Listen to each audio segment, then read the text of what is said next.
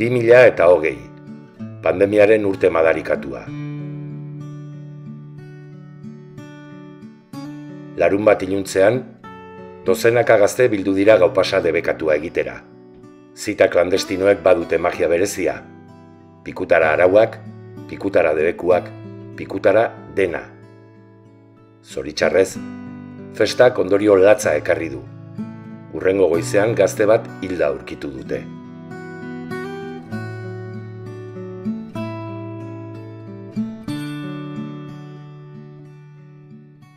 Herria sutan jarri da berehala. Mendeku gozea da nagusi. Baina, nor izan da hiltzaile sasikumea? Luaren itzala eleberria, labetik atera berria. Amalau eta laro eta emeretzi urte arteko gazteentzat, misteriozko novela egokia, gozatu irakurtaldia.